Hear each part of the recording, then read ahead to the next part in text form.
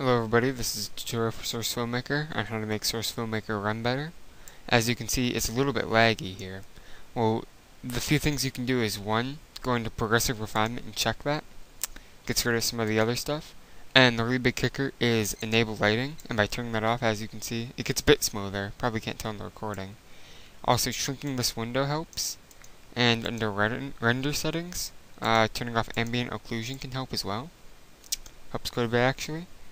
Now, just remember to enable lighting and all of these things.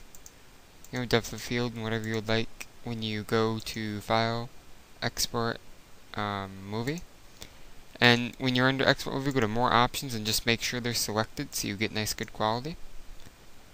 The other thing you can do is if you open your Windows Task Manager and right click Source Filmmaker and go to Set Priority and set it to High, uh, yes, change priority. You can get a little bit more memory out of your computer for Source Filmmaker.